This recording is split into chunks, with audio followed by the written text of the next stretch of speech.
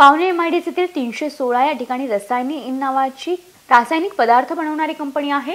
Oil पेंटसाठी लागणारे chemical येथे बनवले जात असून हे केमिकल तीव्र ज्वलनशील पदार्थात गणले जाते. बुधवारी सायंकाळी पाचच्या सुमारास या कंपनीला आग लागली. त्यावेळी कंपनीत कोणीच नव्हते. आग लागल्याचे येथील सुरक्षा रक्षकाने तातडीने कळवले.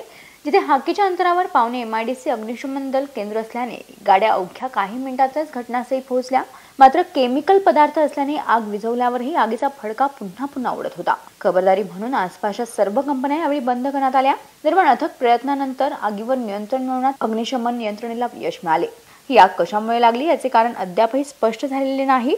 प्राथमिकदृष्ट्या सदर कंपनीत कुठलीही आग नियंत्रण यंत्रणा नसल्याचे समोर आले असून या प्रकरणी पंचनामा करून मालक वा व्यवस्थापक दोषी आढळले तर त्यांच्यावर गुन्हा दाखल करून पुढील कारवाई करण्यात येईल अशी माहिती तुर्भे एमआयडीसी पोलीस ठाण्याचे वरिष्ठ पोलीस निरीक्षक राजकुमार देशमुख यांनी दिली आहे. रसायनी इन कंपनी आहे केमिकल कंपनी आहे P A P plot number तीनशे सोळा पावणे एम आय डी सी या ठिकाणी सुमारे पाच वाजता आग लागलेली आहे.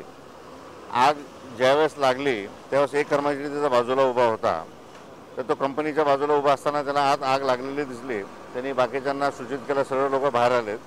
कुठच्याही प्रकारची जीवितहानी झालेली नाही आहेत या ठिकाणी अग्निशमन दमालाचे कर्मचारी कसोशीने प्रयत्न करत आहेत.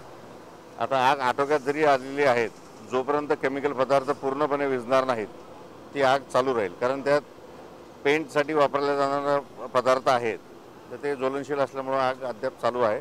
परंतु कुठच्याही प्रकारची जीवितहानी नाही आहे आणि आजूबाजूच्या कंपनीनी देखील सर्व खाली करण्यात आलेले आहे त्या ठिकाणी देखील कुठल्या प्रकारची अडचण येणार नाही. व्हिडिओ जर्नलिस्ट कुणाल जैतपालचा शेखर हंप्रेंस यांचा रिपोर्ट